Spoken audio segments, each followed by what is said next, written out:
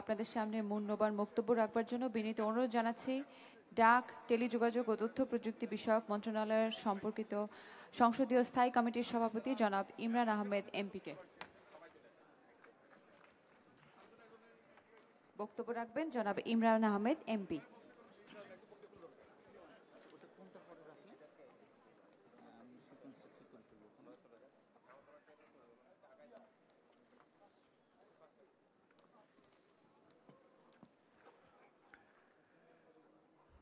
Digital world দুই হাজার সতেরোর সমাপনী অনুষ্ঠানের আজকে সম্মানিত প্রধান অতিথি, আমার শ্রদ্ধেয় অর্থমন্ত্রী জনাব আব্দুল মাহাল আব্দুল মহিত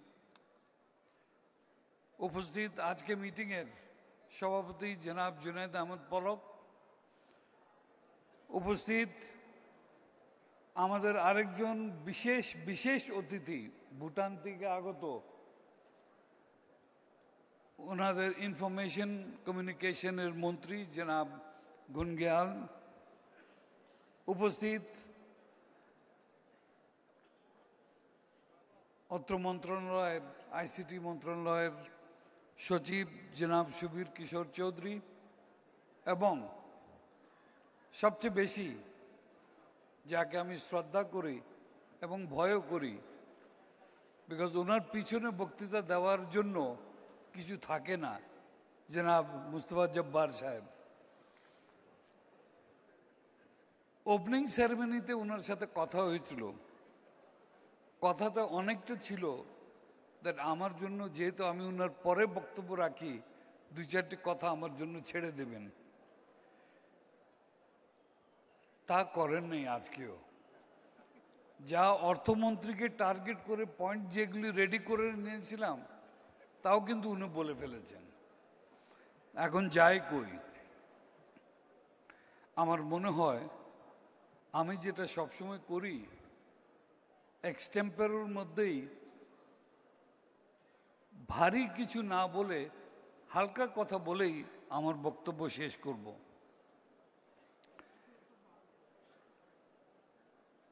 দু হাজার আট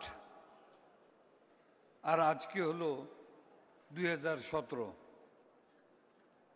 এই কয়েক বছরে আমাদের যে ডিজিটাল ড্রিমের কথা যেটা হয়ে এসছে, আজকের উপস্থিতি বরং এই এই কয়েকদিনের দুই তিন দিনের যে উপস্থিতি যা দেখা গেছে, এটাতেই প্রমাণ হয় আমাদের স্লোগান যেটা আছে রেডি ফর টুমরো আমার মনে হয়, আমার মন্ত্রী মহোদয় যদি আমার সাথে কিছুটা পলক মন্ত্রী সাহেব যদি একটু এগ্রি করেন, এটাকে পরিবর্তন করে ready for tomorrow comma today মানে আজকেই আমরা রেডি আছি আগামীর জন্য। এটাই এখান থেকে প্রমাণিত হয়। এই রেডিনেসের মধ্যে অনেক কিছু চলে আসে।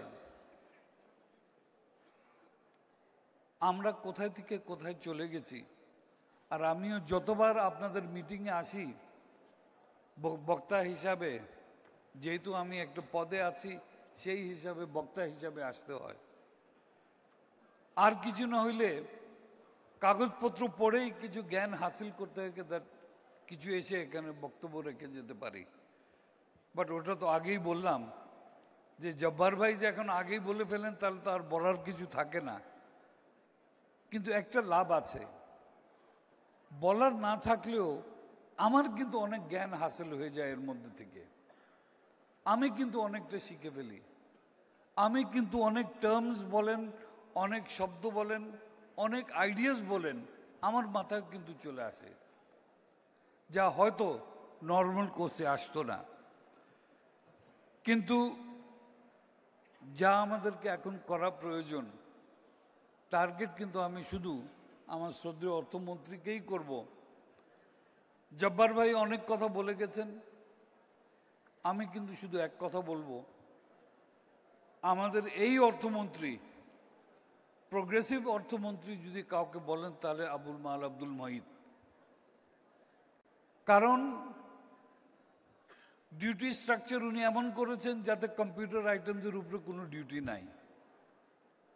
ইনসেন্টিভের জন্য যে এখন কথা বলা হয়েছে এক্সপোর্টের উপরে সফটওয়্যার এক্সপোর্টের উপরে উনি ইনসেন্টিভও দিয়েছেন। নিশ্চয়ই কয়েকশো কোটি টাকা সরকারের রেভিনিউ লস হয়েছে। আমি শুধু আমার মন্ত্রী মহোদয়কে একটাই অনুরোধ করব, এই যে আপনি বেনিফিট দিয়েছেন এই সেক্টরকে এটা নিশ্চয়ই একটা প্লাস মাইনাস একটা ফিগার এই বছরের পরে আপনি পেয়ে যাবেন। আমি যেটা মনে করি, আজকে যদি আমরা এই ডিজিটাল বাংলাদেশের যে প্রোগ্রাম যেটা দেখে যাচ্ছি, এখান থেকেই আপনি উপলব্ধি করবেন যে কয়েকশো কোটি টাকা আপনার সরকারের যদি লস হয়ে থাকে, তার অনেক গুণ বেশি এই কিন্তু এখানে এই ইয়াং ক্রাউডের মধ্যে কিন্তু আমরা হাসিল করে ফেলেছি। তাই মুস্তফা জব্বার ভাইয়ের সাথে কথা মিলিয়ে আমি অনুরোধ করব আমরা জানি যে দ্যাট ম্যাজিক ওয়ান্ড বলে কিছু নাই।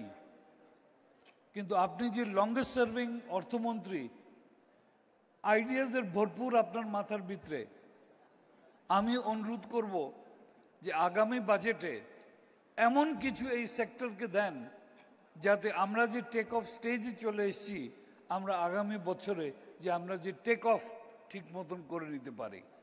এটা বলেই সবাইকে ধন্যবাদ জানিয়ে আমার বক্তব্য শেষ করছি।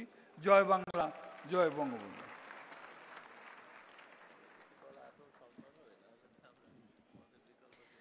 ধন্যবাদ স্যার আপনার মূল্যবান বক্তব্যের জন্য।